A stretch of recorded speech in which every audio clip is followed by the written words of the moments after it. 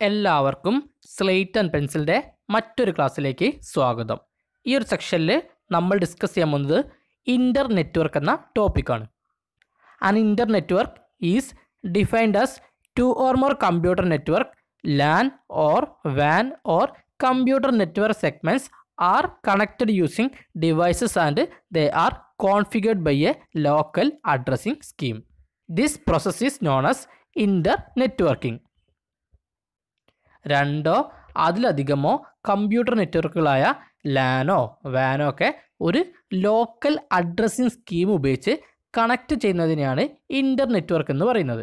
രണ്ടോ അതിലധികമോ കമ്പ്യൂട്ടർ നെറ്റ്വർക്കുകൾ ഒരു ലോക്കൽ അഡ്രസ്സിംഗ് സ്കീം ഉപയോഗിച്ച് കണക്ട് ചെയ്യുന്നതിനെയാണ് ഇന്റർ നെറ്റ്വർക്ക് എന്ന് പറയുന്നത്. അങ്ങനെ കണക്ട് ചെയ്യുന്ന ആ പ്രോസസ്സിനാണ് ഇന്റർ നെറ്റ്വർക്കിംഗ് എന്ന് പറയുന്നത്. അങ്ങനെ കണക്ട് ചെയ്യുന്ന ആ പ്രോസസ്സിനാണ് എന്താ പറയുക ഇന്റർ നെറ്റ്വർക്കിംഗ് എന്ന് പറയാം. അപ്പോൾ നെറ്റ്വർക്കുകളുടെ കണക്ഷനെ അല്ലെങ്കിൽ കോമ്പിനേഷനെ നമുക്ക് ഇന്റർ നെറ്റ്വർക്ക് എന്ന് പറയാൻ പറ്റും. An internetworking uses the internet protocol Inter നെറ്റ്വർക്കിങ്ങിൽ ഉപയോഗിക്കുന്ന പ്രോട്ടോക്കോളാണ് ഇന്റർനെറ്റ് പ്രോട്ടോക്കോളായ I P.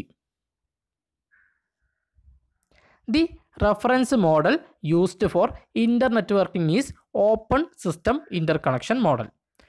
ഇന്റർ നെറ്റ്വർക്കിങ്ങിന് വേണ്ടി ഉപയോഗിക്കുന്ന ഒരു റെഫറൻസ് മോഡലാണ് ഒ എസ് ഐ മോഡൽ അതായത് open system interconnection model അപ്പോൾ ഇതിനെക്കുറിച്ചൊക്കെ ഈ മൊഡ്യൂളിൽ തന്നെ നമ്മൾ വിശദമായിട്ട് പഠിക്കും. അപ്പോൾ ഇതൊരു ലെയേർഡ് മോഡലാണ്. അതിൽ തന്നെ ഏഴ് ലെയേഴ്സ് ആണുള്ളത്. ഇന്റർനെറ്റ് ഇൻവെന്റ് ചെയ്യുന്നതിന് മുൻപ് കൂടുതലായിട്ട് യൂസ് ചെയ്തിരുന്ന ഒരു റെഫറൻസ് മോഡലാണിത് ഒ എസ് ഐ മോഡൽ ഇനി നമുക്ക് ഇന്റർ നെറ്റ്വർക്കിനെ നമുക്ക് രണ്ട് രീതിയിൽ ക്ലാസിഫൈ ചെയ്യാൻ പറ്റും. ഇൻട്രാനെറ്റ് എന്നും അതുപോലെ തന്നെ എക്സ്ട്രാനെറ്റ് എന്നും. ആദ്യം നമുക്ക് എക്സ്ട്രാനെറ്റ് എന്താണെന്ന് നോക്കാം.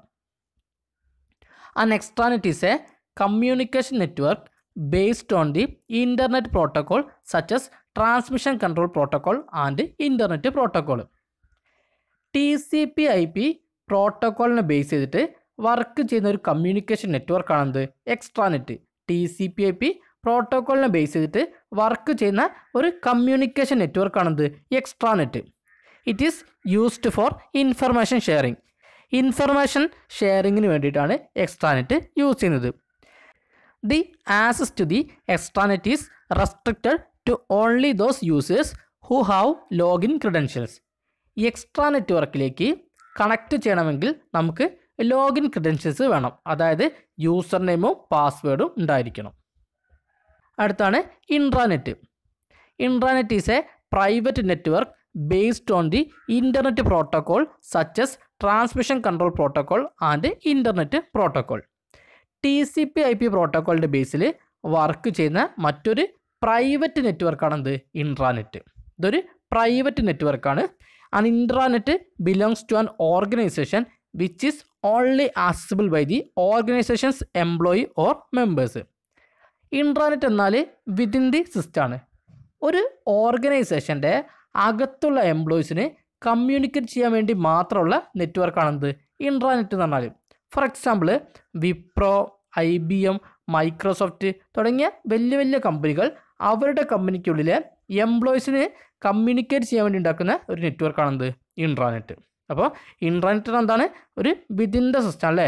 ഒരു ഓർഗനൈസേഷന്റെ അകത്തുള്ള എംപ്ലോയീസിന് കമ്മ്യൂണിക്കേറ്റ് ചെയ്യാൻ വേണ്ടി മാത്രമുള്ള നെറ്റ്വർക്കാണെന്ത് ഇൻട്രാനെറ്റ് എന്ന് പറഞ്ഞാൽ അപ്പോൾ ഇത്രയാണ് നമുക്ക് ഇന്റർ എന്ന ടോപ്പിക്കിൽ പഠിക്കാനുള്ളത്.